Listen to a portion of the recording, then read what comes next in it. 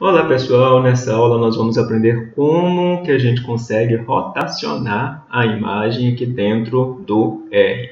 Nas outras aulas a gente ensina um tanto de coisa, como que a gente abre uma imagem do próprio computador da gente, como que a gente consegue mudar brilho, contraste, fazer a correção gama, como que a gente consegue mudar a resolução da imagem. Assiste as últimas aulas aí, com certeza vocês vão aprender bastante.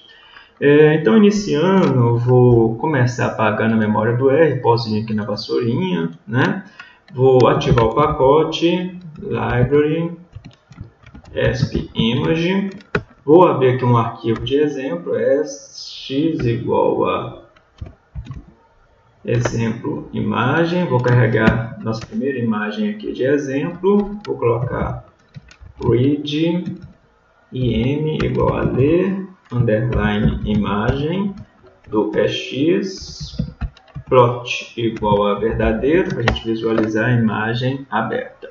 Então a gente vai trabalhar aqui com essa imagem, vou colocar aqui ó, im2 igual a resize image, vou colocar aqui im e vou colocar percentagem igual a 30. Né? Então, para diminuir o tamanho dessa imagem na memória do nosso computador, eu vou diminuir ela considerando apenas 30% da sua resolução, né? ou seja, 30% do número de linhas, do número de colunas que a gente tem nessa imagem.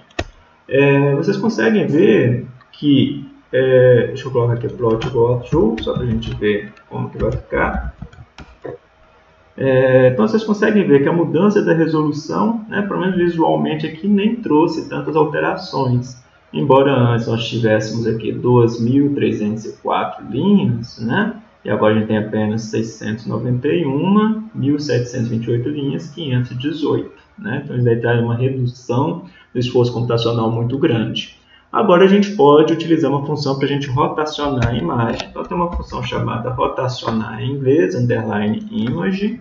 Abrir aqui o manual só para a gente ver. E a gente consegue fazer essa mudança aqui na rotação apenas mexendo aqui, ó, colocando o arquivo nosso que é a nossa imagem e falando qual que é o ângulo que a gente quer fazer essa rotação. Então vou colocar aqui rotacionar imagem em M2, né, para a gente ter aqui uma imagem com um tamanho menor. É, vou colocar aqui ângulo de 20 graus, por exemplo. Vou colocar aqui é, plot igual a true. Vou dar um Ctrl Enter. Então vocês conseguem ver que a gente rotacionou a imagem, né? rotacionei ela aqui em 20 graus. E o fundo aqui ficou preto. Se eu quiser colocar um fundo de alguma outra cor, basta eu colocar aqui, ó, BC background color igual a C e colocar, por exemplo, eu quero vermelho, 1 para a banda de vermelho, 0 para de verde, 0 para de azul, né? E mudando os valores aqui de RGB, vocês vão conseguir colocar qualquer cor que vocês queiram aqui no background, ok? Então, esse BG Color serve para mudar essa cor que a gente vai ter aqui por trás, né? E o ângulo é a rotação que a gente quer rotacionar essa nossa imagem. coloquei aqui para rotacionar 90 graus, tá bom? Então, só de fazer isso, a gente consegue criar um outro objeto que vai ter, então, essa nova configuração. Né? Só para a gente ver em M2 e em M3. Então, a gente fez uma rotação nessa nossa imagem. Né? É, então a gente conseguiu ver aqui como que a gente consegue utilizar essa função de uma forma bem tranquilinha, bem fácil, tudo bem?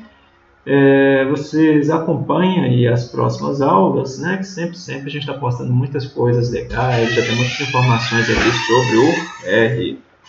Até a próxima aula.